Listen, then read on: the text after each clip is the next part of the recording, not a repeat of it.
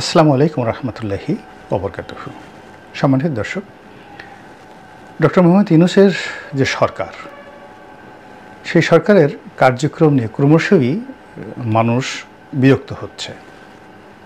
মানুষ বিভ্রান্তিতে পড়ছেন। অনেকে বিশ্বাস এবং আস্থা হারিয়ে ফেলেছেন। এবং সরকারের কর্মকাণ্ড নিয়ে নানা রকম গুজব ছড়িয়ে পড়ছে। এবং সরকারের কাজকর্মের যে ধারাবাহিকতা, সেটি নষ্ট হচ্ছে। সরকারের মধ্যে যে বিবাদ এবং বিসংবাদ, এটি ক্রমশ স্পষ্ট হচ্ছে। অবস্থার দৃষ্টি মনে হচ্ছে যে সরকার কাজের চেয়ে অকাজ বেশি করছে। যেগুলো দরকার নেই। সেই কাজগুলো তারা করছে, যে কথাগুলো বলার দরকার নেই, সেই কথাগুলো তারা বলছেন। এবং যে কাজগুলো করার দরকার, সেই কাজগুলো তারা করছেন না। অথবা যে কাজগুলো করার দরকার, সেই কাজগুলো তারা বুঝছেন না। এর ফলে কি হচ্ছে? জনগণের সঙ্গে তাদের ক্রমশ দূরত্ব তৈরি হচ্ছে এবং ধীরে ধীরে তারা বন্ধুহীন হয়ে পড়ছে দেশে এবং দেশের বাইরে। একটা সময় যারা শর্তহীনভাবে সরকারকে সমর্থন দিতেন, এখন তারা সমালোচনা করছেন। আমি দু তিনটে উদাহরণ দিলে বুঝতে পারবেন। যেমন সরকারের একজন গুরুত্বপূর্ণ উপদেষ্টা, জনাব আসিফ নজরুল। তো যখন তিনি ক্ষমতায় এলেন, প্রথম পনেরো দিন he was just like a angel সরকারের ভিতরে এবং বাইরে তাকে নিয়ে মানুষের স্বপ্নের কোনো শেষ ছিল না। এখন বাইরে যারা জনগণ তারা তো অবশ্যই আসিফ নজরুল সম্পর্কে আগের মতো ধারণা পোষণ করেন না, কিন্তু সমস্যা হলো যে সরকারের ভিতরেও তাকে নিয়ে নিদারুণ অবিশ্বাস এবং অসন্তোষ তৈরি হয়েছে। যেমন ধরুন ইলেকশন নিয়ে তিনি একটি কথা বলেছেন। তো তার কথা যদি আপনি বিচার করেন, বিশ্লেষণ করেন, জনাব মতিউর রহমান চৌধুরীর একটা অনুষ্ঠানে চ্যানেল আইয়ের যে সংবাদপত্র, প্রতিদিনের সংবাদপত্র পর্যালোচনা হয়, সে অনুষ্ঠানে তিনি গিয়েছেন, আগেও তিনি গিয়েছেন।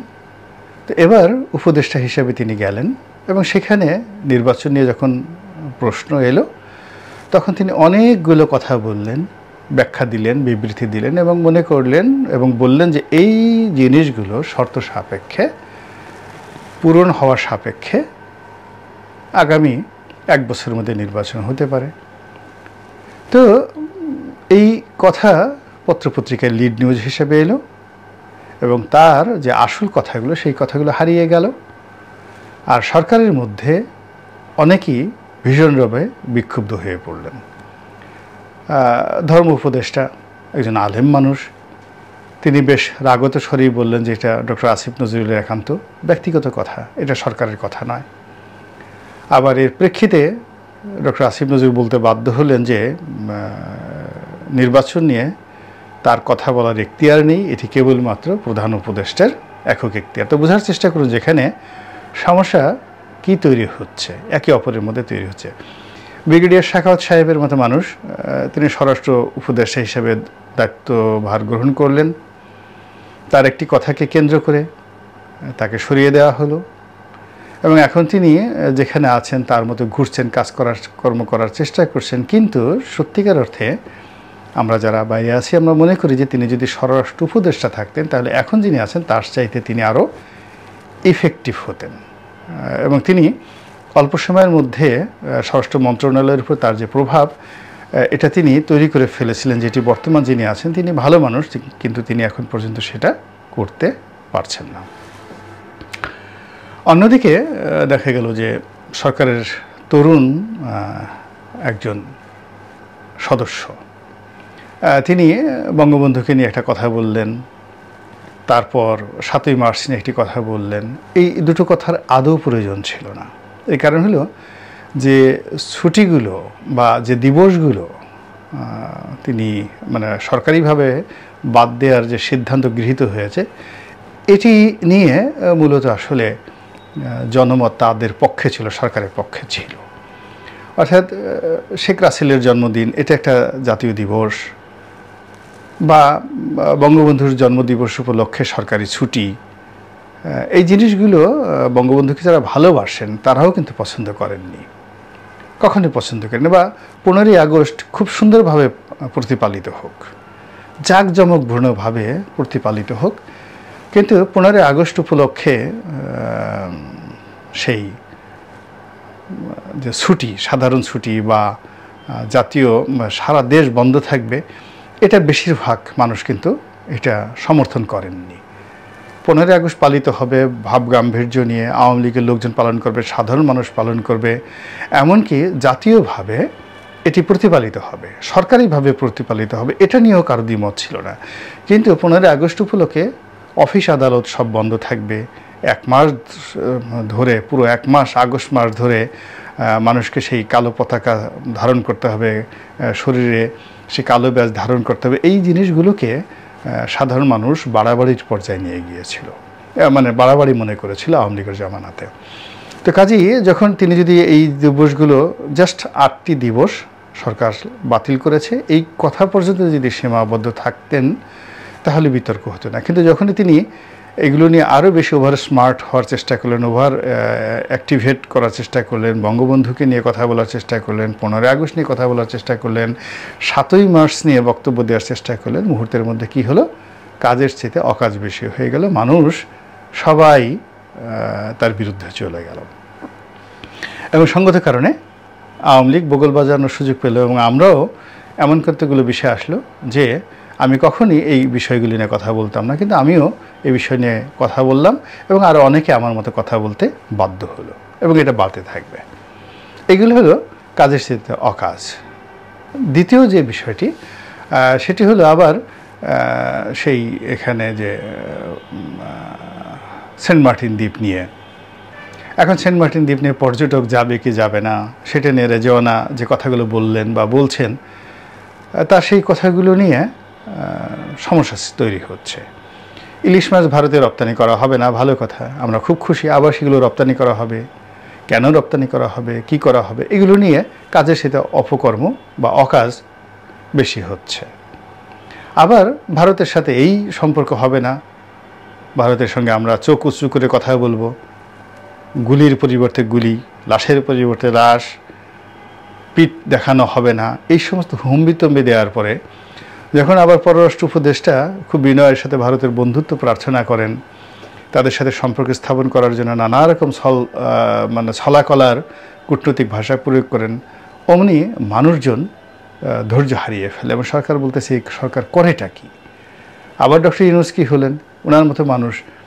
সেই উনাকে, উনি এমনি যাকে বলে বয়সের ভারে নুজ্জ তারপর আবার এই সময়টাতে ওনার যারা শুভার্থী তারা বিশ্বের এই পাঁচশো জন প্রভাবশালী মুসলমানদের মধ্যে তাকে তালিকাভুক্ত করা হলো। এবং এই যে এগুলো শুনলে না হাসি কন্ট্রোল করা যায়, না নিজেকে নিয়ন্ত্রণ করা যায়। তো ডক্টর মোহাম্মদ ইউনুসকে যদি আরও একশোটা উপাধি দেওয়া হতো, সেইগুলো মানুষ মেনে নিত। কিন্তু যখন বলা হলো যে তিনি বিশ্বের প্রভাবশালী পাঁচশো জন মুসলমানদের মধ্যে একজন, অন্যতম। তখন বলে, দাড়ি কই? মুসলমান, প্রভাবশালী মুসলমানের দাড়ি থাকবে না? দাড়ি কই? টুপি কই? হজে গেছেন কি না? নামাজ পড়েন কি না? তো তাহাজুদ নামাজ পড়েন কি না? পকেটে তসবি আছে কি না? এই সকল জিনিস যদি না থাকে, তো মুসলমান হন কি করে? জুমান নামাজ যান কি না? তো উনি কোন মসজিদে জুমান নামাজ পড়েন? তো এই উপদেশটা হওয়ার পরে তিনি একদিনও কি মসজিদে গেছেন, কোন মসজিদে গিয়ে জুমার নামাজ পড়েছেন, এই বিষয়গুলো সামনে চলে আসে। এই যে বিষয়গুলো সামনে চলে আসে এবং এইগুলোর কোনো উত্তর নেই। তো এই যে যারা ডক্টর ইউনুসকে বড় করার জন্য এই ধরনের উপাধি দিয়েছেন, তারা সঙ্গে সঙ্গে এই যে সাবসিকুয়েন্ট যে প্রশ্নগুলো আসে, এই প্রশ্নগুলো তাদের মাথায় আসেনি। তাদের মাথায় আসেনি। আবার কথা নয় ব্যথা নাই, ডক্টর মোহাম্মদ ইউনুসকে এই পূজা মণ্ডপে নিয়ে যাওয়া হলো। তো বিশ্বের প্রভাবশালী একজন মুসলিম, তিনি গিয়া পূজা মণ্ডপেতে এর আগে কখনো গেছেন বলে আমার কাছে মনে হয় না। দুই চার পঞ্চাশ বছর গেছে কিনা। তো ওখানে পূজা মণ্ডপে গেলে আপনি ওই আছে না যে একে তো নাসুনে বুড়ি, তার উপর আবার ঢোলের বাড়ি। শেখ হাসিনা দিল্লিতে যখন গেলেন এয়ারপোর্টে, তাকে রিসিভ করার জন্য কোনো গুরুত্বপূর্ণ মন্ত্রী মিনিস্টার আসেন নাই। না এসে সেখানে কতগুলো মহিলাকে, তারপর শেষে কতগুলো ঢুলি কতগুলো যন্ত্রী, কতগুলো নাচনেও নাচনেওয়ালিকে পাঠিয়ে দিয়েছে। এখন তারা ঢোলে বাড়ি দিয়ে যখন নাচা শুরু করল, শেখ হাসিনাও সেই ঢোলের বাড়ির সঙ্গে তাল মিলিয়ে নাচা শুরু করলেন এবং সেগুলো রীতিমতো ভাইরাল হয়ে গেল।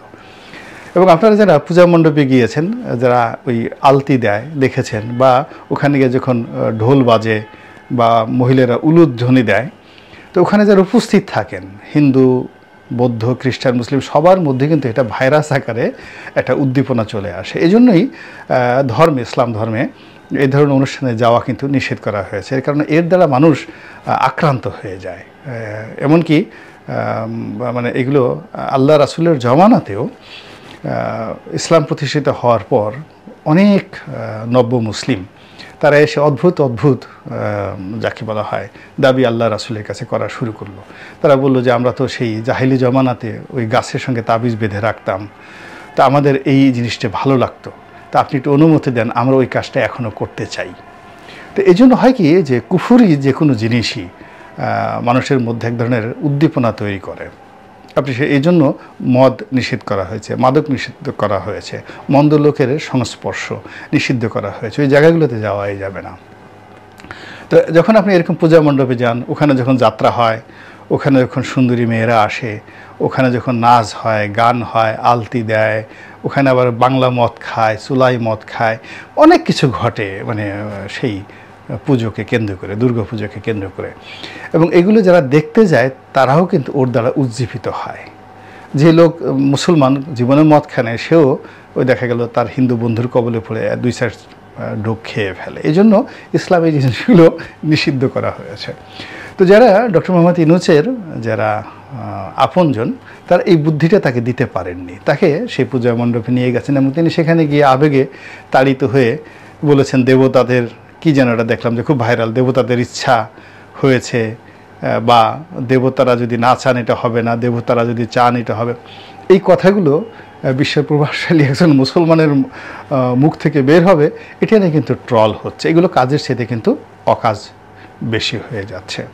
এবং এগুলো অনেকগুলো মানে এই সমস্ত অপকর্ম মানে কাজের সাথে অকাজ যেগুলো বলা হচ্ছে, অপকর্ম বলব না, অকাজ বলব কর্ম এবং কাজের মধ্যে বুৎপত্তিগত অনেক পার্থক্য আছে। তো এই অকাজ সরকারকে কিন্তু একের পর এক ঝামেলায় ফেলে দিচ্ছে।